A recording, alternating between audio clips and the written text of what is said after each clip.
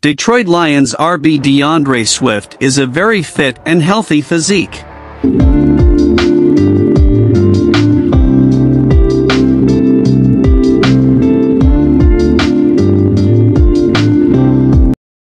Swift, a running back who was injured in each of his first two seasons, is healthy now and the team expects him to be one of its top players on offense. We all know there's a difference in being injured and hurt, assistant coach and running backs coach Duce Staley said.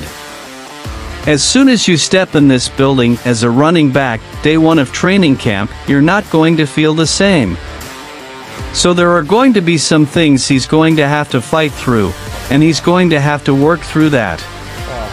It's a blunt statement from Staley, but that's the kind of honesty Swift and the rest of the Lions roster has come to expect from the coaching staff.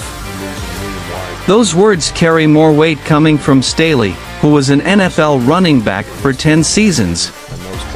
Duce is going to tell me what I need to hear, and that's kind of what you need, Swift said. That's the type of guy I want to play for. The 23-year-old is taking the challenge head-on, hitting the weight room in the off-season and arriving at camp noticeably bigger and stronger. Full body strength, Swift said of his off-season regimen. Getting my body right.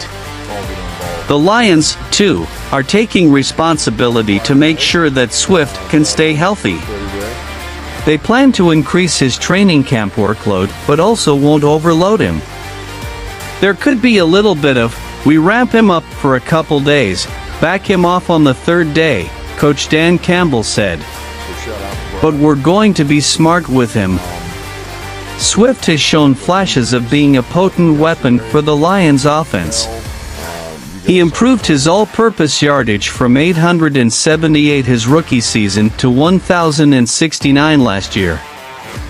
But a combination of sharing the backfield with Jamaal Williams and nagging injuries limited him to just 151 rushes last year, ranking him 30th among NFL backs.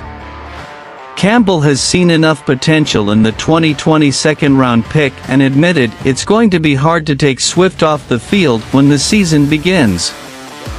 Swift is one of our most explosive players on offense, Campbell said. Like literally, we feel like, alright man, if we set this up right and there's any space, this guy can take it to the house. He's got that ability, and so, my gosh, man, you want those guys out there every play. Swift may also benefit from the high expectations of the offensive line. While injuries led last season to left tackle Taylor Decker missing the first eight games of the season and Pro Bowl center Frank Ragnow the final 13 games, all five starters are currently healthy. Swift said that'd mean the world if it stays that way.